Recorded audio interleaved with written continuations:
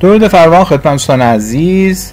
امروز یک شنبه ششم تیر ماه هست و با وجود اینکه شاخص کل در نهایت دو دهم درصد مثبت شد و از همون ابتدای معاملات هم یک روند سعودی رو پیش گرفت شاخص کل هموز یک دهم درصد منفی بود یعنی دقیقا برعکس شاخص کل حرکت کرد و از همون دقایق اول معاملات به سمت پایین حرکت خودش رو ادامه داد. تنها نکته مثبت امروز همین دو دهمی هستش که اینجا می‌بینید. وگرنه همه به صلاح معلفه ها امروز باز هم شرایط چندان خوب و مطلوبی را نداشتن. اندیکاتورها هم تغییراتی را نشان نمی‌دهند که ناشی از این باشه که بگیم وضعیت بورس سعودی شده.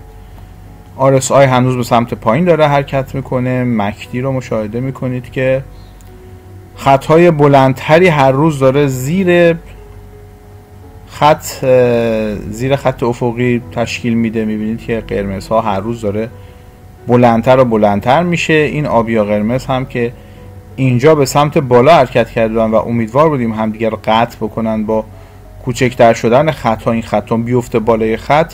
اصلا همچی چیزی اتفاق نیفتاد و دقیقا از 24 25 خورداد به این طرف هر روز وضعیتش داره.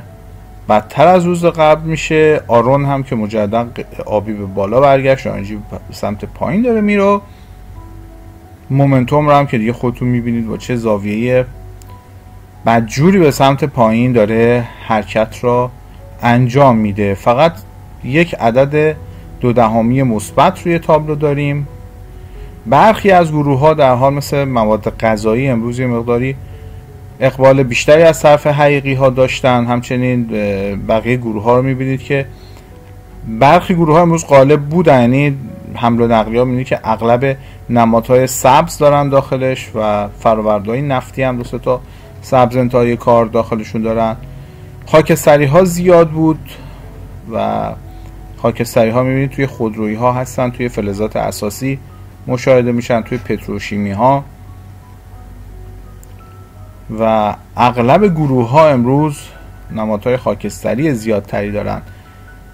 سبز هم در نقشه پایانی می‌بینید که سبز های بزرگی هم داریم. یعنی یه تعداد نمادها هستش که امروز با حجم بالایی سبز خوردند و همین ها هستن که یه مقدار شاخص کل رو امروز بالا بردن. اگر نه خروج پول داشتیم. خروج پول هم 350 میلیارد توسط حقیقی ها امروز خارج شد. نسبتش هم می‌بینید ورود پول حقیقی و حقوقی را. حقوقی ها تقریبا 3 4 برابر حقیقی ها هستند. در گروه های محصولات غذایی و همچنین ماشینالات امروز حقیقی ها یه مقداری خریدهایی را انجام دادند که خب جز اون ده تای اول تونستن این دو تا گروه را بیارن.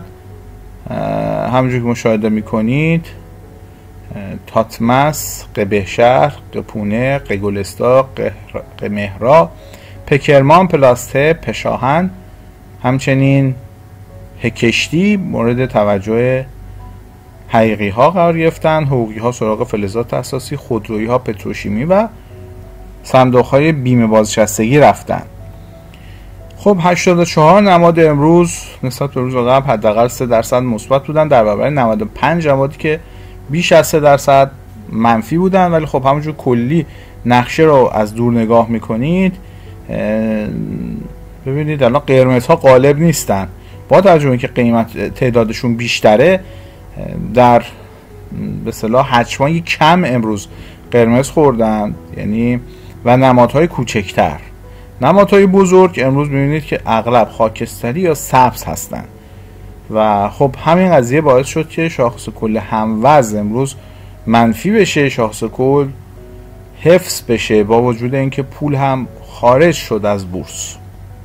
میشه گفت حقوقی ها با چنگ و دندون دارن دفاع می‌کنن از نمادهای بزرگ و تا توان دارن دارن خرید می‌کنن و سعی هم بر این کردن که خیلی منفی خرید نکنن. اغلب روی خاکستری و سبز خرید کنن که یه جورایی شاخص حفظ بشه.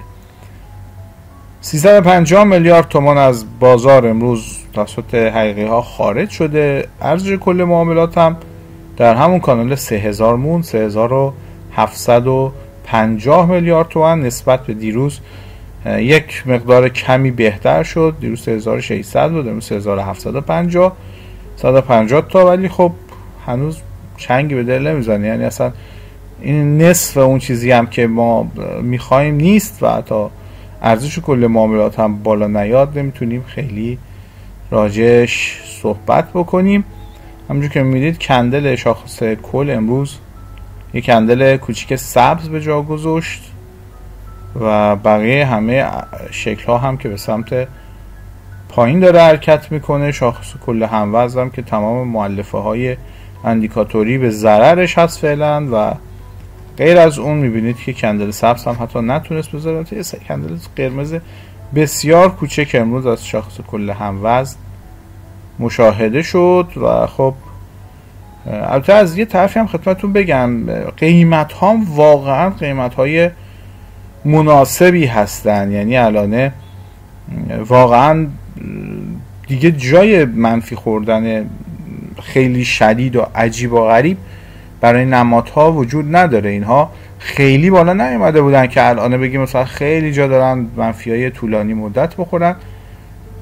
الان دو سه تا منفی که منفی مثلا زیادی که تو این چند روز خوردن مجددا به کف یا حتی زیر کف قیمت خودشون هم رسیدند. الگو ساعتیمون هم که امروز در کمترین حد قرار داره. هپارسا و کباده دو تا الگو ساعتی بیشتر نداریم. خب آیدی NDFH هم معتقده که سهم نماد فرابورس الان در کف قیمت قرار داره و ما این رو اعلام می‌کنیم. تو خب میگم الان بسیاری از نمادها این حالت رو دارن و به قول آیدی FRH تا اطمینان و اعتمادی که توسط این نامدیران از بورس رفته بر نگرده بورس همچنان با مشکل خودش ادامه خواهد داد. چون که واقعا قیمت ها در حدی هستش که شما با بازار روزمره مقایسه بکنید. الان مثلا تو همین نمیگم تو سه چهار ساله تو همین دو سه ماهه همه قیمت ها در بازار دو سه برابر شده و یا حتی برخی از کالاها بیشتر افزایش قیمت پیدا کردن. تورم ماهیانه ایران در کل دنیا از همه بیشتر شده. یعنی خورداد ماه ما اینقدر تورم بالا بوده که نفر اول جهان شدیم. بعد تازه چیزی بهتون بگم این تورمی که الان اعلام میشه معمولا درست اعلام نمیشه. یعنی خیلی بیشتر از اون چیزی هستش که اعلام میشه. یعنی اون چیزی که اعلام شده باز هم از ونزوئلا بیشتر بوده. و خب ما همیشه بعد از دو تا کشور مثل ونزوئلا و یکی دو تا آفریقایی قرار می گرفتیم تو ماهیانه آمون دیگه رکورد شکنی کردیم در خورداد ماه. از اونها هم جلو زدیم از نظر حالا آماری حتی و نفر اول دنیا شدیم. بعدا خیلی عجیبه. همه چیز چندین برابر شده. خودتون دقیقا اینا رو می‌تونید درک بکنید در بازار که میرید. بعدا سهام قیمتش بیاد پایین تر یعنی ارزون تر داره. میشه قیمت ها و خب این واقعا خیلی عجیب غریب هستش. البته حالا آیدی که کیخسرو میگن که دیروز چون دلار افتاده بورس هم افتاده ولی خب امروز هم دلار افتاد. بیشتر از دیروز هم افتاد. همونجوری که مشاهده می‌کنید. الان تتر زیر سی یک هزار تومن هم هست و سی هزار و نهصد. تقریبا این چیزی بوده. 700 تومن نسبت به دیروز داره پایین تر معامله میشه. سکه هم البته می‌بینید که 14 و نیم داره معامله میشه. باز اومد پایین تر این هم در ساعت بعد از ظهر من دارم برنامه رو ضبط کنم صبح حتی سکه به 14 و 300 هم رسیده بود. البته خب بخشی از اون بستگی به قیمت دلار داره به خاطر اینکه دلار وقتی میاد پایین روی اونم تاثیر گذاره ولی خب حالا خدا که امروز دلار خیلی روی بورس تاثیر نگذاشت و این نشون اینه که واقعا دیگه بورس بیش از این هم جا نداره که بیاد پایین و این طرف ارزهای دیجیتال رو هم می‌بینیم که روی همون حد حدود قبلی خودش داره نوسان می‌کنه. 21218 دلار بیت کوین هستش و یه کوچولو نسبت به دیروز در 50 دلار در این لحظه پایین تر اومده به تبع اون. همون یک کوچولو رو بقیه ارزهای دیجیتال هم پایین اومدن. در حال به ریالی 657 میلیونه. اتریوم 37 و 600 هستش.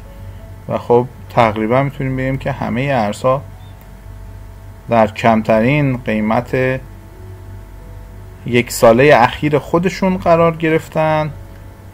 از طرفی قیمت بیت کوین رو هم اینجا می‌بینید که فعلا داره روی همین خط حدود 20 هزار تا بالا پایین میره و خب این بار احتمال اینکه شکست به سمت بالا باشه بعد از یه مدتی که اینجا حرکت می‌کنه بیشتر از اینه که شکست به سمت پایین اتفاق بیفته خب دلایلش هم روزهای گذشته بهش پرداختیم. حتی یه ویدیو هم گذاشتم که جامع راجع اون صحبت کردیم. در هر حال امیدوار هستیم که بقیه اندیکاتورها هم در بورس برگرده. در امروز بسیاری از نمادهای بزرگ بالاخره سبز شدند. از خودشون مقاومت از خودشون حمایت خوبی نشون دادن. امیدوارم حقیقی ها هم برگردن. یعنی اگه حقیقی ها به سمت بازار برگردن همه چیز آماده هست که مجددا صعود انجام بگیره. ولی خب فعلا اعتمادی هنوز وجود نداره و امیدوارم این اتفاق هم زودتر بیفته. ممنونم که توجه کردید منتظر کامنت های خوبتونم هستم. تا برنامه بعد خدا نگهدار.